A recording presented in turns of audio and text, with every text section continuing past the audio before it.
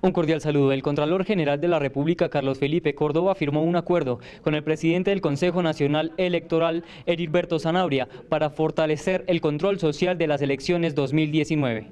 Esto fue lo que dijo el Contralor General.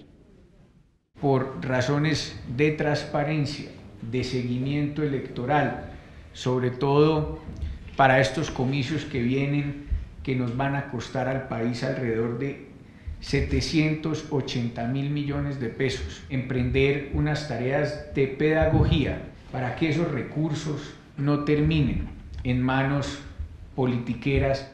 El presidente del Consejo Nacional Electoral asimismo celebró la formalización de este acuerdo. Este nuevo Consejo Nacional Electoral tiene la inmensa responsabilidad de recobrar la confianza de los ciudadanos en el proceso electoral señor Contralor, a la Contraloría como institución.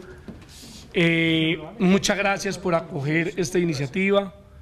Estamos seguros que de la mano de esta institución y de sus servidores vamos a poder llegar a muchos rincones de la patria.